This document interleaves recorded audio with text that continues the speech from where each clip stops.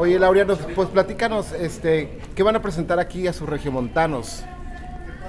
Yo creo que ha sido una idea muy interesante, a mí me, a mí me gustó. Yo no hasta ahora no había hecho nunca conciertos múltiples con nadie y, y sí, habíamos estado analizando con mi manager y eso varias oportunidades las posibilidades de ver cómo conjuntábamos lo que yo hago con de pronto con alguien de, que normalmente debiera de ser de tu mismo género.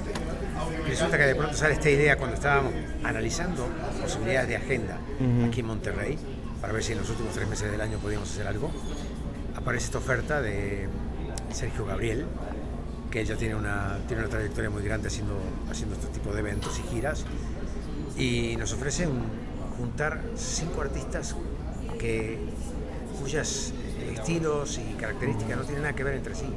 De hecho, yo soy el único que estoy haciendo rock en el medio. Ajá. Y en medio de baladistas, de gente emblemática de televisión, Sí.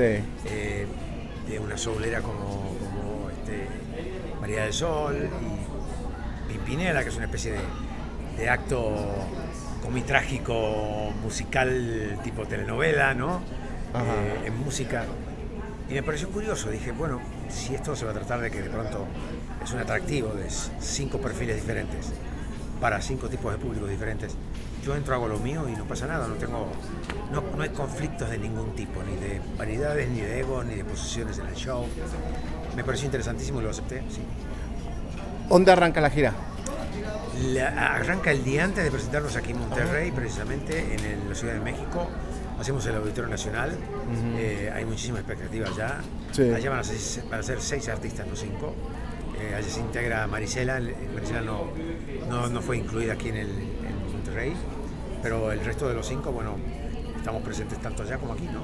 Oh, Y después eh, hay, un- hay una idea de, de Sergio Gabriel de seguir esto en Centroamérica y en Estados Unidos entonces, y varias plazas del país. hoy muy interesante, Sí, ¿no? sí, muy interesante. Mientras tanto, digo, cada uno sigue con, sus, con Ah. su agenda personal y este, yo sigo haciendo, dando conciertos y, y- y nada, viajando, ¿no? De hecho, me voy este fin de semana, el fin de semana que viene me voy a Florida, trabajamos en Florida y vuelvo inmediatamente para hacer estos dos eventos. Oye, Laureano, hubo un problema con Lucía Méndez este día. Problema no. Bueno, es que en las redes sociales se está manejando como que hubo una discusión ahí entre ustedes. Ah, no, no. ah, a ver. Por la serie de Luis Miguel. Por- Y por los Primero, comentarios de Luis Miguel. que no tiene nada que ver y con por lo de. De hecho, el único que mencionaron Por la serie fue a mí. Ajá. y, y lo mencionaron con mucha justicia porque si no hubiera sido que me, me agarraron a mí como chivo expiatorio, al que le hubiera tocado hubiera sido Luis Miguel, porque yo estaba primero en la lista. Y eso es real, porque yo soy muy amigo de, de Hugo López. y eso. Pero problemas no. Yo tengo mi... lo- a ver, quiero dejar muy claro algo. Qué bueno que me lo preguntas, te lo agradezco. Es una persona de profundas convicciones, es un tipo muy serio, que sé exactamente lo que, yo, lo que me gusta, lo que no me gusta. eh, que me digan de que es justificable que alguien suba borracho en el escenario, yo no lo voy a admitir nunca. Yo soy un tipo que siempre me toma en serio mi trabajo. Si alguien no se lo toma así, no me parece que sea un buen profesional. Punto. O sea, esa fue la discusión. Sí. Y no quiero entrar a mayores porque no vale la pena. Además, no me interesa la vida de la gente. Pero si, si eso se está manejando en redes, Ajá. Por lo- escuchar, sí, los sí. comentarios de Alejandro Fernández y Luis Miguel que hiciste. que hagan de su vida un candelabro, a mí me vale. Digo, no me interesa. Ajá. Yo hago otro género, yo soy un tipo muy abierto, Ajá. estoy metido en el rock precisamente porque no tenemos pelos en la lengua, pensamos, nos expresamos con mucha libertad, y, eh, pero no, salió el tema. Sí, sí, sí. punto, y- Sí, por eso te preguntamos, qué mejor no que tú. estemos- Qué mejor que tú lo estés aclarando, ¿no? Claro, yo ni me ocupo de esa gente, si ellos chupan o no chupan es su problema.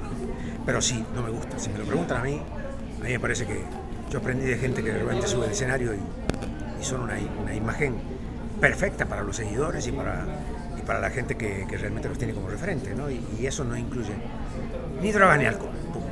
Claro, pero con Lucía Méndez está bien, no hay problema. Ah, no, sí, sí, sí, sí.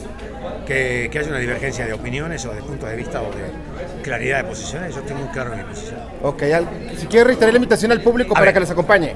He tenido la fortuna de estar eh, por, ot- por otros motivos y, y en, y en otra, en una empresa colega de ustedes, eh, 16 semanas viniendo a Monterrey. Es un- una plaza maravillosa.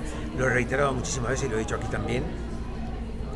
Monterrey ha sido el lugar donde se destapó el proyecto de rock en español en el año 85, y fue en junio del año 85, y se disparó desde Monterrey, en Radio de Monterrey. Yo a Monterrey lo llevo en el corazón y realmente me he sentido siempre como en casa. Eh, los norteños para mí son un símbolo de libertad, de fortaleza en un país como este, una resistencia al avasallamiento cultural que tienen aquí a, hora y media de distancia, que hace que sea meritoria esta tierra y los, les tengo una profunda atención. Y sé que aquí se destapó la, la- aunque ahora no está sonando el rock en español, se destapó el rock en español. Así que va a ser para mí un placer estar el 31 de verdad de agosto a las 9 en punto de la noche en la Arena de Monterrey, dándoles lo mejor de la música del Ángel del Rock. Muy bien, muchas gracias, Laureano. A ustedes, eh, como ya, ya lo saben, tienen un- gente que creció además en esta casa, ¿no? Eh, y nada, estoy hermanado con el público. Muchas gracias.